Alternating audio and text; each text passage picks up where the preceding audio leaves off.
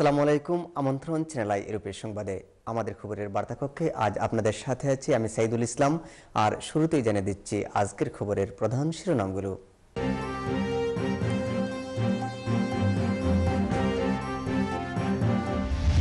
ব্রিটেনে অ্যাসাইলাম আবেদন মঞ্জুর হলেও থাকছে না স্থায়ী হবার সুযোগ। বৃদ্ধাশ্রম সেবায় শীর্ষে যুক্তরাজ্য, বাংলাদেশ বাহাত্তরতম। স্বেচ্ছাসেবক লীগের সাধারণ সম্পাদক পঙ্কজ দেবনাথ, এমপি টাওয়ার হ্যামলেটসের সংবর্ধিত।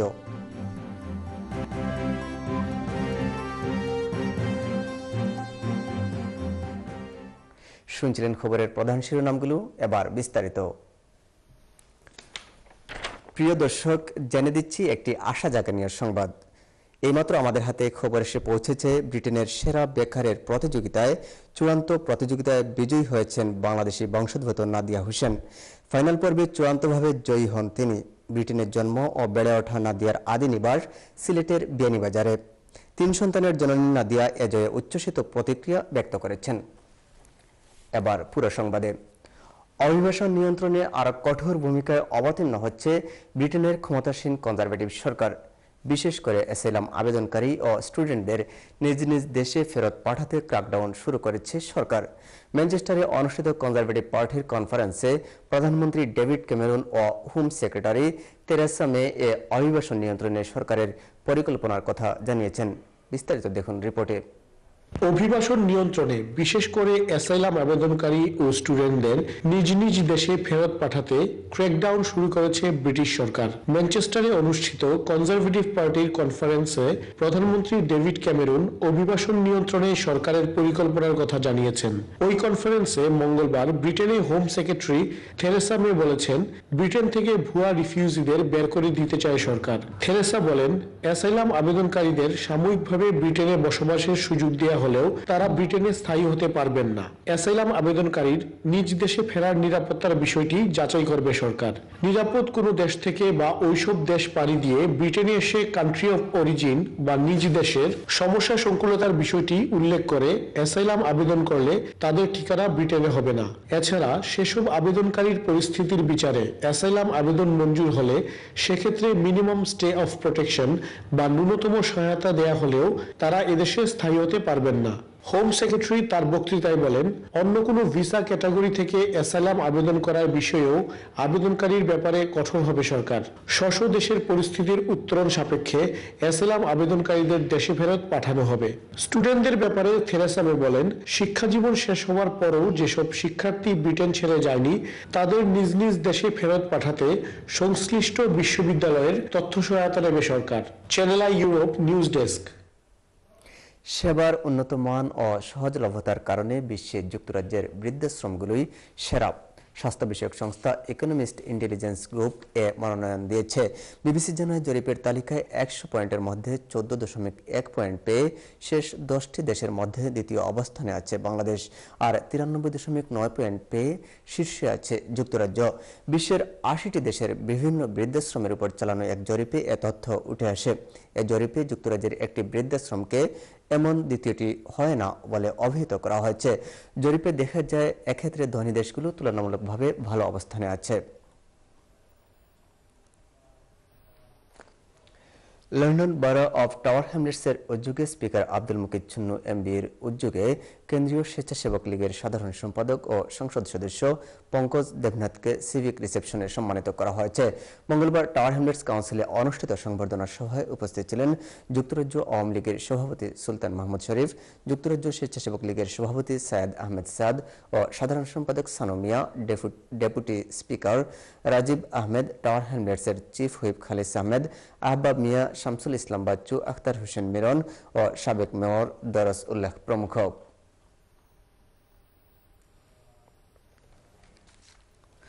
সৈয়দ মহসিন আলী ছিলেন একজন সাদামনের মানুষ। তৃণমূল থেকে উঠে আসা গণমানুষের নেতা।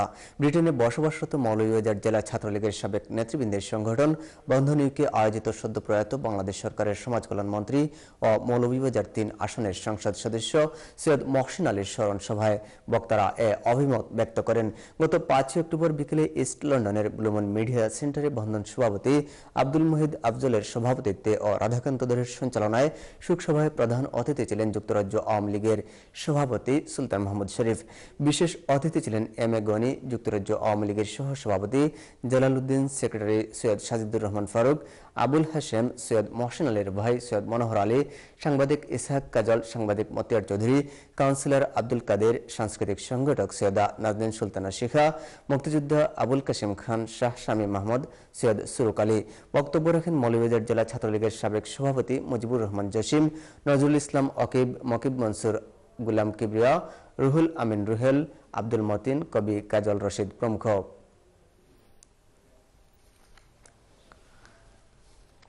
জকিগঞ্জ ওয়েলফেয়ার অ্যাসোসিয়েশন ইউকের ঈদ পুনর্মিলনী অনুষ্ঠিত হয়েছে। পূর্ব লন্ডনের একটি হলে সংগঠনের সভাপতি মশিউর রহমান শাহিনের সভাপতিত্বে ভারপ্রাপ্ত সাধারণ সম্পাদক শামীম শাহানের পরিচালনায় অনুষ্ঠানে সভায় উপস্থিত ছিলেন Mazharul Islam Mohsin Kamruddin Chowdhury Paplu, Shamim Shahan TV presenter Maulana Abdul Quddus, Atiqur Rahman Chowdhury, Maulana Mohammad Abdul Awal Helal, Maulana Farid Ahmad Chowdhury, A K M Masum, Maulana Musleuddin, Saifullah Khaled ও হারুনুর রশিদ প্রমুখ।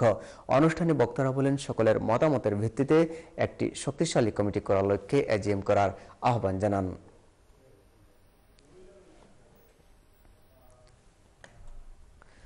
বাংলাদেশ আওয়ামী পেশাজীবী লীগ যুক্তরাজ্য শাখা আয়োজন করে সদ্যপ্রয়াত বীর মুক্তিযোদ্ধা, সমাজ কল্যাণ মন্ত্রী সৈয়দ মহসিন আলী স্মরণের শোকসভা ও দুয়া মাহফিলের সংগঠনের সভাপতি সাবেক ছাত্রলীগ নেতা আবদুল্লাহ আল মুহাইমিন পারভেজের সভাপতিত্বে ও সাধারণ সম্পাদক শেখ সালামের পরিচালনায় এতে প্রধান অতিথি ছিলেন যুক্তরাজ্য আওয়ামী লীগের সাংগঠনিক সম্পাদক আব্দুল আহাদ চৌধুরী।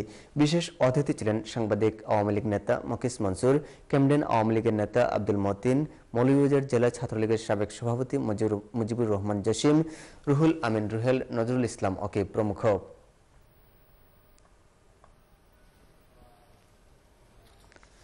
ছাতক ও দুয়ারা যুব উন্নয়ন পরিষদ ইউকের উদ্যোগে সংগঠনের ট্রেজারার মিজানুর রহমান খানের পিতা সাবেক ইউপি চেয়ারম্যান হাজি মোহাম্মদ রইস খানের মৃত্যুতে দুয়া ও মিলাদ মাহফিল অনুষ্ঠিত হয়েছে।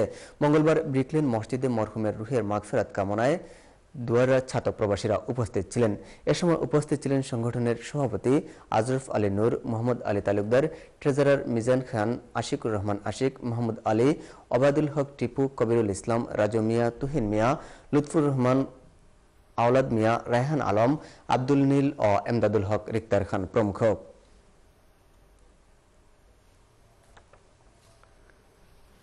প্রিয় দর্শক, আপনারা দেখছেন আমাদের খবর। যাচ্ছি ছোট্ট একটি বিজ্ঞাপন বিরতিতে। ফিরে এসে অন্যান্য খবরের সাথে থাকছে।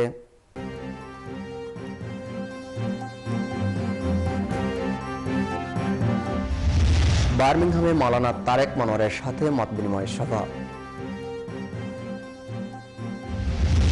সিলেটে হাসান রাজা একাডেমির নামকরণ বহালের দাবিতে মানববন্ধন।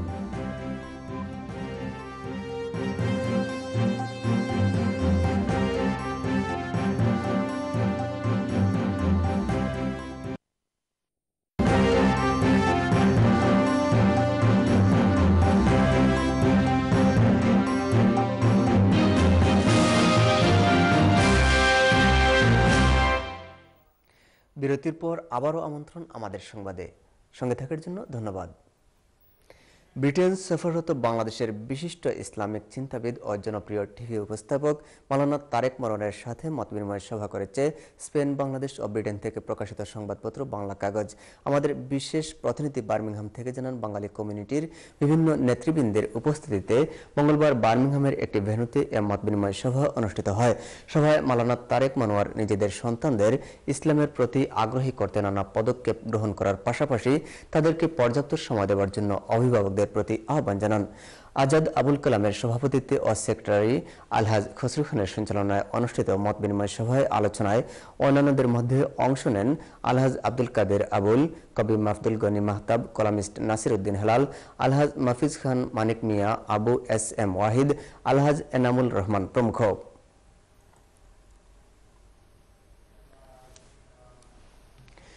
ব্রিটেন সফররত সিলেট জেলার শ্রেষ্ঠ চেয়ারম্যান সিলেটের দক্ষিণ সুরমার সিলাম ইউপি চেয়ারম্যান মোহাম্মদ ইকবাল হোসেনকে গণসংবর্ধনা দেওয়া হল বার্মিংহামে। আমাদের বিশেষ প্রতিনিধি আব্দুল আহাদ সুমন জানান, মিডল্যান্ডসে বসবাসরত প্রবাসী সিলাম ইউনিয়নবাসীর উদ্যোগে বুধবার বার্মিংহামের কভেন্ট্রি রোডের একটি রেস্টুরেন্টে এ অনুষ্ঠানের আয়োজন করা হয়।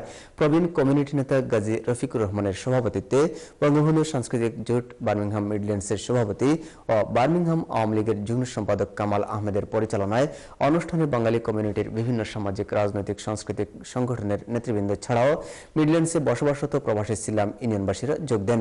গণসংবর্ধনায় বক্তারা চেয়ারম্যান মোহাম্মদ ইকবাল হোসেনের নানা উন্নয়নমূলক কর্মকাণ্ডের ভূয়সী প্রশংসা করেন। সংবর্ধিত চেয়ারম্যান ইকবাল হোসেন ছাড়াও অনুষ্ঠানের প্রধান অতিথি হিসেবে উপস্থিত ছিলেন বার্মিংহামের deputy lord mayor councillor Shafiq Shah. বক্তব্য রাখেন আলহাজ আলী ইসমাইল, মিসবাউর রহমান মিসবা, আলহাজ কামুল হাসান চনু, জুনেদুর রহমান, লুৎফুর রহমান লুকু প্রমুখ।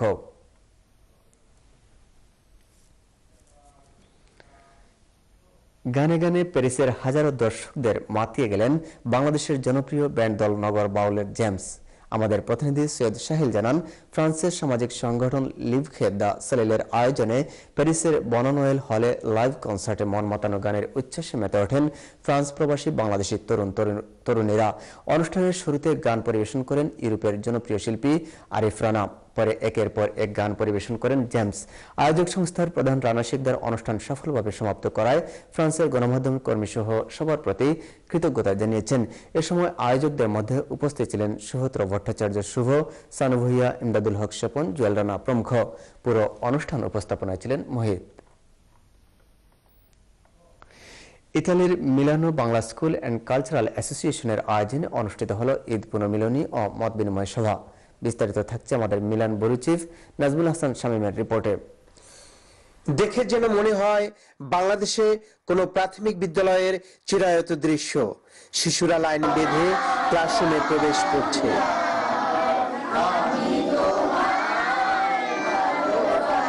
চমৎকার এ দৃশ্য ইতালির মিলানো বাংলা স্কুল অ্যান্ড কালচারাল অ্যাসোসিয়েশনের ঈদ পুনর্মিলনী দুই হাজার পনেরো ও মত বিনিময় সভার। রবিবার স্কুল সেমিনার কক্ষে অনুষ্ঠিত এই আয়োজনে স্কুল সভাপতি সেলিনা আক্তারের সভাপতিত্বে আমার স্কুল সবাই শেষ করার পরে আমরা দ্বিতীয় বর্ষ করেছি অলরেডি আমার দু মাস হয়ে গেছে সবাইকে ঈদের অনেক অনেক শুভেচ্ছা এবং অভিনন্দন ও সাধারণ সম্পাদক সুলতানা খানের পরিচালনায় বক্তব্য রাখেন প্রধান উপদেষ্টা রিয়াজুল ইসলাম কাউসার উপদেষ্টা নাজমুল হাসান শামীম। এই স্কুল থেকে আমরা চাই আমাদের ছেলেমেয়েরা বাংলাদেশের কৃষ্টিকে জানুক এবং এই স্কুলের মাধ্যমে প্রতিষ্ঠিত হবে একটি ছোট্ট সোনার বাংলা। এই প্রত্যাশা করে শিক্ষক মন্ডলী আশাজা খায়ের জামাল আহমেদ শারমিন সুলতানা শিউলি শারমিন আক্তার অভিভাবক বৃন্দ খান মামুন, তুহিন আহমেদ, বিউটি আক্তার, হাসি আলম আঞ্জুমানার সহ অনেকে। এ সময় বক্তারা স্কুলের বিভিন্ন সমস্যা ও এর সমাধান নিয়ে আলোচনা করেন। উল্লেখ্য, গত ছয় সেপ্টেম্বর দুই হাজার পনেরো থেকে শুরু হয় স্কুলের দ্বিতীয় বর্ষের ক্লাস। ইতালিতে বসবাসরত প্রবাসী বাংলাদেশি শিশুরা বাংলা ভাষা সুন্দরভাবে লিখতে ও পড়তে পারবে, শিখবে স্বদেশী কৃষ্টি, কালচার ও দেশপ্রেম। এই প্রত্যাশা নিয়ে শুরু হয় মিলানো বাংলা স্কুল অ্যান্ড কালচারাল অ্যাসোসিয়েশনের যাত্রা। উত্তর উত্তর স্কুলের পরিধি বৃদ্ধি পাবে এই প্রত্যাশা সকলের। ইতালির মিলান থেকে নাজমুল হাসান শামীম, চ্যানেল আই। এবার সিলেটের খবর। সিলেটের নয় বছরের শিশু আবু সাইদকে অপহরণ ও হত্যা মামলায় এক আসামির জামিন শুনানির জন্য উচ্চ আদালতে নথি স্থানান্তর করার অভিযোগপত্রের উপর শুনানি অনুষ্ঠিত হয়েছে। বুধবার অভিযোগের শুনানির ধার্য তারিখ ছিল। সিলেট মহানগর হাকিম আদালত এক এর বিচারক শাহাদুল করিম শুনানি না করে পরবর্তী তারিখ ধার্য করেছেন। গত তেইশে সেপ্টেম্বর চারজনকে অভিযুক্ত করে আদালতে সাইদ হত্যা মামলার অভিযোগপত্র দাখিল করা হয়। অভিযুক্তরা হচ্ছেন নগরের বিমানবন্দর থানার পুলিশ কনস্টেবল এবাদুর রহমান, র্যাবের কথিত সোর্স আতাউর রহমান গেদা, সিলেট জেলা আওয়াম ওলামা লীগের সাধারণ সম্পাদক নুরুল ইসলাম রাকিব ও প্রচার সম্পাদক মাহিদ হোসেন মাসুদ। অভিযুক্তদের মধ্যে মাসুদ পলাতক রয়েছেন। এদিকে শিশু শেখ সামিল আলম রাজন হত্যা মামলায় আরও চারজনের সাক্ষ্য গ্রহণ করা হয়েছে। এ নিয়ে মোট দশজন সাক্ষ্য দিয়েছেন। মরমী কবি হাসান রাজার নামে নির্মাণাধীন হাসান রাজা একাডেমির নামকরণ বহালের দাবিতে সিলেটে মানববন্ধন অনুষ্ঠিত হয়েছে। মঙ্গলবার বিকেলে নগরের কেন্দ্রীয় শহীদ মিনারের সামনে এ মানববন্ধন অনুষ্ঠিত হয়। এ সময় বক্তারা বলেন, উনিশশো পঁচাত্তর সালে বঙ্গবন্ধু শেখ মুজিবুর রহমান পঁচিশ হাজার টাকা অনুদান দিয়ে সুনামগঞ্জে হাসান রাজা একাডেমি নির্মাণে প্রাথমিক উদ্যোগ নেন। এর ধারাবাহিকতায় তত্ত্বাবধায়ক সরকারের আমলে দু হাজার আট সালে সিলেটে উপদেষ্টা পরিষদের বৈঠকে সুনামগঞ্জে হাসান রাজা একাডেমি নির্মাণের প্রস্তাব গৃহীত হয়। কিন্তু ভবনটি উদ্বোধনের আগেই একটি মহলের কারসাজিতে সংস্কৃতি মন্ত্রণালয় হাসান রাজা একাডেমির বদলে শিল্পকলা একাডেমি ভবন হিসেবে নামকরণের প্রস্তাব পাশ করেছে। মানববন্ধনে সংহতি প্রকাশ করে বক্তব্য রাখেন কবি শুভেন্দু ইমাম, সাবের নৃবিজ্ঞান বিভাগের প্রধান professor A K M Mazharul Islam, Hasan রাজার প্রপত্র, দেওয়ান সামরিন চৌধুরী বাপা সিলেটের সাধারণ সম্পাদক আব্দুল করিম কিম সহ অন্যান্যরা।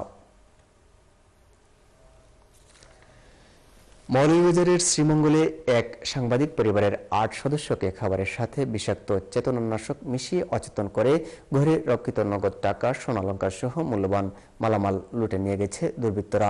এলাকাবাসী অজ্ঞান অবস্থায় তাদেরকে উদ্ধার করে মৌলভীবাজার দুশো পঞ্চাশ শয্যা হাসপাতালে ভর্তি করেছে।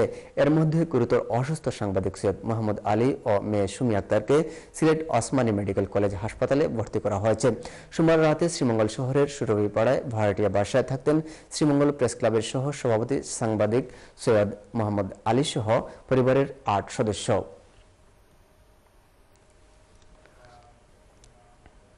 এই ছিল আমাদের আজকের আয়োজন। শেষ করার আগে আবারও জানিয়ে দিচ্ছি খবরের প্রধান প্রধান শিরোনামগুলো।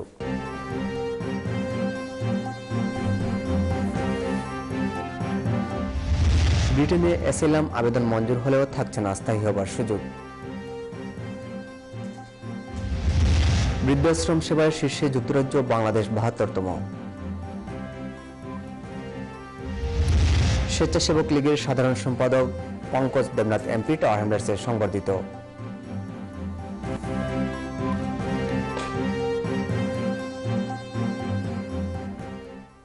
এই ছিল আমাদের এখনকার আয়োজন। আগামীতে আমাদের খবর দেখার আমন্ত্রণ জানিয়ে বিদায় নিচ্ছি। আল্লাহ হাফেজ, শুভরাত্রি।